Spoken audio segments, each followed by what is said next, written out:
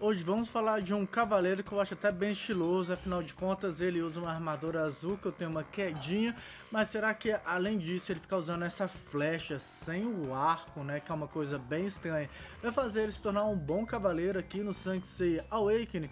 Bem-vindo Cavaleiros Amazonas a mais um vídeo no canal do NEM de Sanctuary Awakening e hoje nós vamos conhecer três motivos para investir no Ptolemy de flecha. Ptolemy de Flecha, ele é um atacante de alvo único que tem a habilidade de se esconder de ataques direto do seu oponente. Falando um pouquinho dos seus atributos, nós vemos que ele tem como destaque o ataque físico, que é uma categoria A que não é grandes coisas assim, e tem uma defesa física B, os demais status são tudo C. Para começar, ele é aquele cara genérico atacante, bato e morro fácil. E vamos agora falar do primeiro motivo para você investir no Ptolemy de flecha, maior dano entre os classe A e classe B. Olha só, quem diria que o de flecha ele tem um multiplicador de dano maior do que os demais concorrentes classe A e classe B que nós encontramos aqui no jogo, ressalvo que o Io tem uma potência de dano que pode ser maior ou inferior do que o Ptolemy. A diferença é que o Io de Esquila ele depende de várias coisas, de da Esquila atacar várias vezes e tem o Wish de Hydra também que depende da quantidade de venenos que o alvo tem para passar do Ptolemy. Porém, Ptolemy não, ele só ataca e já tem o multiplicador dele de dano definido. Passando aqui pelo seu ataque base, flecha fantasma, ele faz nada, tem um multiplicador aí acima da média, começa com 100, full skill 120%. A sua flecha dourada fantasma, ele dispara uma flecha dourada contra um inimigo, causando 200% de dano físico imediatamente. A partir da rodada de ação 3 do inimigo, a flecha dourada perfura o coração dele e causa mais 310% de dano, isso full skill, totalizando um multiplicador de dano 510%, que é um dano relativamente interessante se você parar para pensar, mesmo que ele tenha uma categoria A no seu ataque físico, é um multiplicador de dano alto. A flecha dourada desaparece após a morte de Ptolemy, né? Então, se ele tinha acumulado algumas flechas lá e o inimigo eliminou Ptolemy, ele não vai causar esse dano adicional de 310%. Porém, o Ptolemy ele é um cara bem difícil de matar, por causa do seu motivo número 2, esconder-se. O Ptolemy ele consegue esconder dos ataques dos inimigos, né, que sejam direcionados a um, né, um ataque ou um debuff de alvo único, graças à sua passiva Arqueiro Oculto. Ele começa com 40%, mas full skill chega a 60% de chance de esconder após cada ação. A condição de estar escondido terminará durante a ação seguinte. Isso faz com que o nosso arqueiro oculto, né, o Ptolemy, ele se torne um cara bem difícil de se eliminar. E então acaba que aquele lance da flecha sumir depois que ele pereça dificulta o inimigo a não receber aquele dano adicional. Então é uma estratégia bem legal, mas lembrando que ele tem somente 60% de chance para aplicar aí o arqueiro oculto após as suas jogadas. Seja um problema, poderia ser uma habilidade aperfeiçoada até, sei lá, já pensou se fosse 100%? Seria até interessante, hein? Porque ele é um personagem bem lento. E já falando um pouquinho do despertar da armadura dele, o despertar da armadura dele, ele aumenta 80% inicialmente, eu não sei quantos que vai aumentar ele full skill, né, tem que testar lá no Duelo Sagrados, mas a descrição da habilidade é, ao invés de 270%, ele vai ficar com 350% na hora que a flecha estourar, se eu não me engano. Então ele vai aumentar muito mais o poder destrutivo de dano que ele já tem e ainda tem que ver a descrição das habilidades dele para verificar se vai aumentar sempre os 80% ou vai aumentar ainda mais no decorrer das próximas up skill, né? Então isso aí é uma dúvida que eu não encontrei. Mas de qualquer forma, né, ainda não foi lançado o Despertar da Armadura do Ptolemy aqui no servidor global. Quando lançar, eu devo fazer uma review do Ptolemy com seu despertar da armadura, como já tem de todos aqui no canal. Então vamos falar um pouquinho de Cosmos do Ptolemy, vamos lá. Para começar, ele é um cara atacante, não tem muito mistério, tá certo? Talvez não seja prioridade você colocar tanta velocidade nele também, mas a vantagem dele é atacar primeiro do que o seu alvo, é que já vai ter um contador de flecha naquele alvo também. Então o foco dele é ataque físico, efeito de crítico e seria limitado apenas a isso mesmo, tá? O restante você coloca o que vier de subatributos aí no seu Cosmo. O único status que é interessante ignorar seria o acerto de status, né? Já que ele não aplica debuff. Então aqui a gente tem o lança-chamas como melhor opção no solar, no lunar, qualquer um que não seja o ceia, de preferência, e no estrela nós vamos ter aí a lealdade ou o cristal do fogo. O que você gostaria mais? De aplicar mais dano com lealdade ou de ter uma velocidade maior? Fica aí ao seu critério. Referente ao lendário, essa quimera também parece ser um pouquinho interessante, né? Já que ele é lento, então não custa nada deixar ele como lento demais lá no final da fila e aumentando aí o seu dano, que já é bem interessante inicialmente. Vamos falar agora um pouquinho das desvantagens do Ptolemy. Apresentando aqui o time que eu estou utilizando com ele, quis fazer um time somente com classe A e classe B para dar uma brincada, ele como único atacante principal e vocês vão ver que ele é bem deficiente no dano, porque esse lance de esperar três rodadas para causar dano é muito punk. Então o maior problema dele, mesmo que ele tenha esse multiplicador de dano relativamente interessante, mas esperar três rodadas do oponente é muito tenso, ainda mais que a gente encontra aí vários personagens que mata aí com um a três ataques, né? E ele custa 2 de energia também. Então não é um custo de energia assim tão interessante assim. Afinal de contas, 2 de energia, a gente já tem um Shura, né? Mostrando aqui para vocês. Mas mesmo assim, dá para você utilizar alguma estratégia lá, ele tá escondendo, então ele não pode ser alvo, por exemplo, do Shura, né, para tirar ele da trepadeira para receber o ataque aí do Milo, né? Então, eu ataquei aqui, ó, ataquei o Shura. Aí o Shura agora ele foi para a segunda rodada, na próxima rodada estamos dando, aí ele já tomou o dano. E aí não foi grandes coisas assim, como vocês puderam ver. Mas o Shura já tá contra o Flash ali, se não me engano, também. Ah não, ele sofreu dano, foi do do verme, né? Vamos ver agora, ó. Shura vai tomar o dano agora. E eu vou aumentando o ataque do Ptolemy, né? Aí, ó, tomou dano, é antes da ação, isso é mais interessante, né? Do que o nosso verme, que causa dano depois da ação. Aí ele atacou aí o Aiolos, mas vocês vão ver que tem que esperar mais três rodadas. Talvez no PvE isso pode ser um pouquinho mais interessante, ainda mais com o despertar da armadura dele, que vai aumentar o dano 80%, né? Como mencionei pra vocês, pelo menos inicialmente, não sei se vai aumentar mais ainda com level 5. E olha que eu tô aumentando o dano aqui também do nosso amigo Ptolemy com Daedalus, né? Então ele também não é interessante como um atacante principal, como vocês podem ver, né? Ele como um atacante secundário, focando em um outro alvo que você gostaria de causar mais dano a longo prazo também é uma estratégia viável.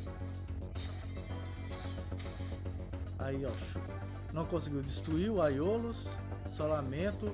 Trouxe aqui também esse time com o nosso amigo, qual o nome dele? O Verme, né? Porque mostrar aí uma, mais uma gameplay dele, né? Já que ele é novo aqui na minha conta.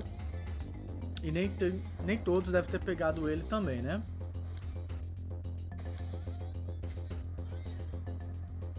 Então é isso, só pra vocês verem, já estamos na rodada 6. E eu sempre falo, os times normalmente duram aí lutas bem mais rápidas. E a luta prolongou bastante aí utilizando o Ptolemy, mostrando que uma estratégia tão interessante, ainda mais que eu não estava com o time controle, só tinha sacerdotisa.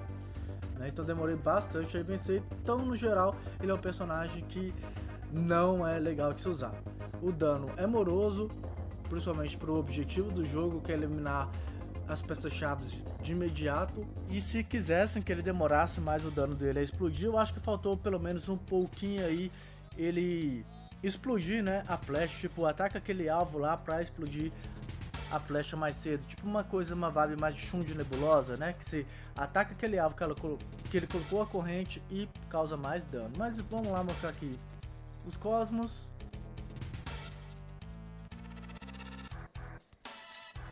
e aceleração. Ele também tá com Narciso nessa replay, olha só. Não é Narciso coloca não, né, gente? Ele também é o cara que mal sofre ataque, né? Aí, eu também tô dando uma nota, querendo mostrar o potencial dele. Tinha colocado foi o Cosmo errado. Então vou tirar aqui o Daidalos, colocar o Xion só pra a galera também não focar demais e brincar um pouquinho mais direito, vocês verem a diferença também, né?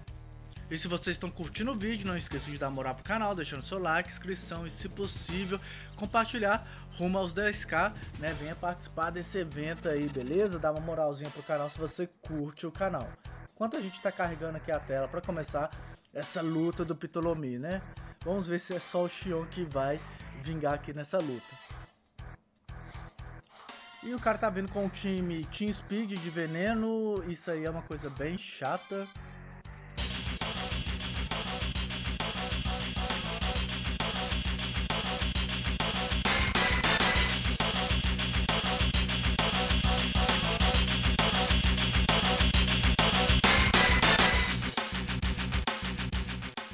E vamos enfrentar um time aqui deveras estranho, né? Você vê que a gestão de energia do time dele já não tá muito boa, né? Então se você contar ali, dá 2, 4, 7, 9, 11 de energia que o cara vai gastar. Então vamos lá, começar suave. Essa aluna aqui também, acho que ela tá meio obsoleta, não faz nada na primeira rodada, poderia ser o Kiki. Então vamos neutralizar aqui o Shaka, ele vai ter que ser meu primeiro alvo. Vamos matar o Sei aos poucos. E a gente vê que a gente agora tá enfrentando um cara que não manja muito, né? Ele não colocou nem fada do pântano, deve ter nem Cosmo aí nas, nos cavaleiros dele, né? Então faz parte também enfrentar os caras cabaços pra gente mostrar aí também, né? Os nossos personagens, né? Já afinal de contas a gente tá jogando com o temos que mostrar aí todo o seu potencial.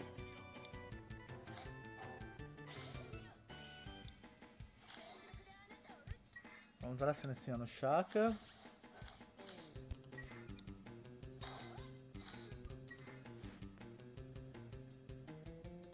Causar dano no Chaka. E vamos causar dano aqui no Shun.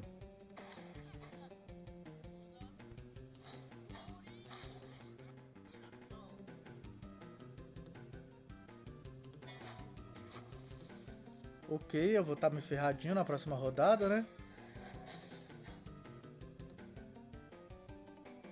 por causa do Chaka dele e o Chaka dele vai, tipo, arrebentar, né? Todo mundo aqui gastando 2 de energia, meus atacantes principais.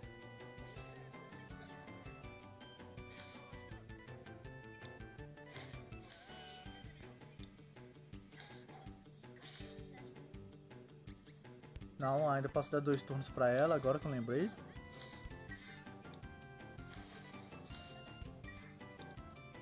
Ok, agora o nosso verme ele não causa tanto, não precisa gastar energia, isso aí é ótimo.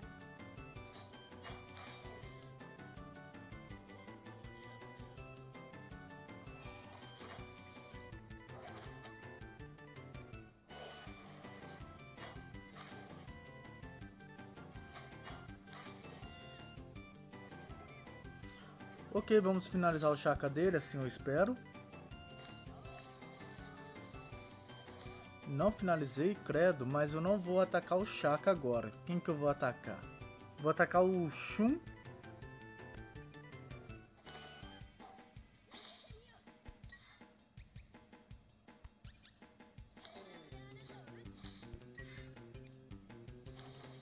Mas vamos ver então o dano que ele vai causar no Shun, né? Eu acho que o Ptolemy, ele deve causar um dano...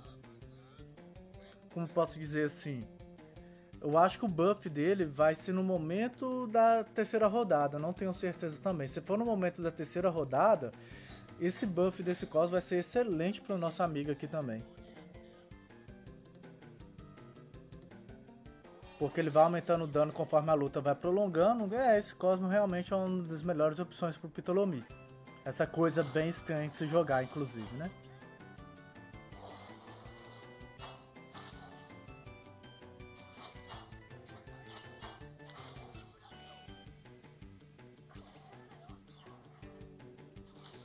Eu não tô tentando focar o nosso amigo ali primeiro, por causa que tô querendo que o Ptolemy vai fazendo vantagem, né?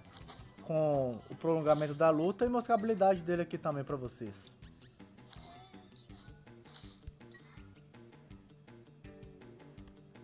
Silenciar o Shun, que ele tá causando muito dano. Também tem o dano do nosso amigo Camus, né?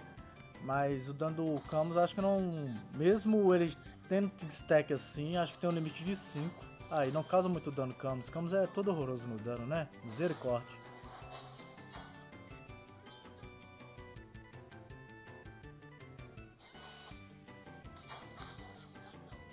E o Putonami vai morrer daqui a pouco sem dar flechada, né? Só falta isso.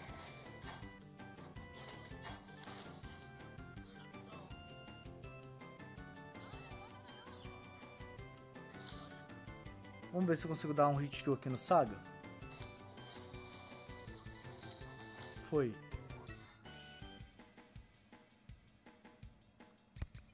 Dá uma flechada aqui.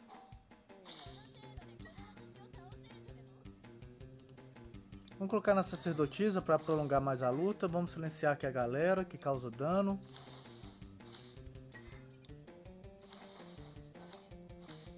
Tá silenciando é todo mundo.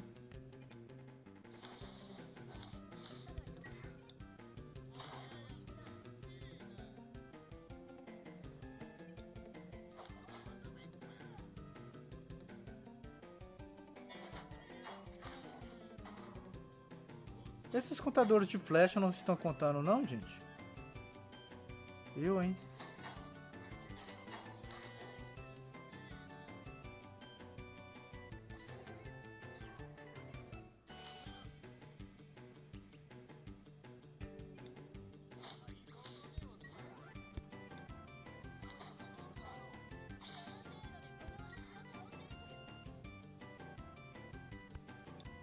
Cara, não, esse Ptolomeu misericórdia, velho. Ele tá fazendo nada aqui na luta, praticamente. Ah, ele é muito ruim, sério, é muito ruim mesmo.